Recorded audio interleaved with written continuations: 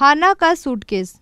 Japan में एक Holocaust संग्रहालय बनाया गया ताकि वहाँ के लोगों को इसके बारे में पता हो।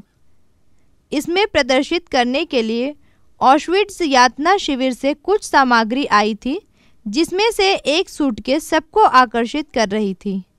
यह उन सूटकेसों में से था, जिनमें विषैले गैस कमरों में मारे गए लोगों के सामान थे। सूटकेस पर लिखा था हाना ब्रेडी। जन्म 1931 अनाथ। यानी इस अनाथ बच्ची को उसके तेरहवें साल में मारा गया था। इस पर जापानी बच्चों के बहुत सारे सवाल थे। वह कौन थी? कहाँ की रहने वाली थी? वह क्यों अनाथ हुई? उसे क्यों मारा गया? आदि। पर संग्रहालय के निदेशिका के पास उनके उत्तर नहीं थे तो उन्होंने हाना के बारे में पता करने की कोशिश की। कई वर्षों बाद आखिर में पता चला कि हाना का एक बड़ा भाई कनाडा देश में जीवित है।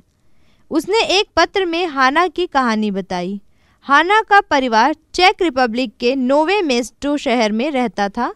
वे यहूदी थे। जब उन्नीस में नाजियों का कब्जा हुआ तो यहूदियों पर मुसीबतों का पहाड़ टूट पड़ा।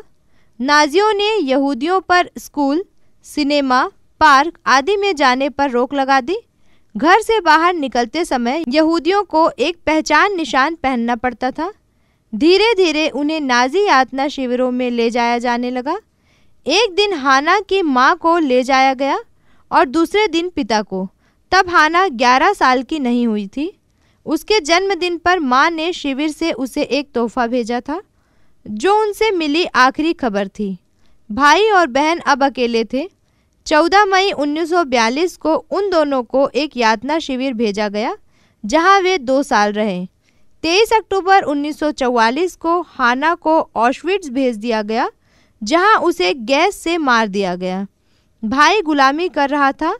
इस बीच नाजियों का राज खत्म हुआ। उसे अपनी बुआ के माध्यम से पता चला कि उसके माता पिता और बहन मार दिए गए हैं। भाई ने लिखा, मेरी दुनिया उसी पल खत्म हो गई है। मैं आज भी हाना के नन्हे हाथों को महसूस करता हूँ। मैं उसे बचा नहीं सका। मुझे इस बात का बहुत दुख है।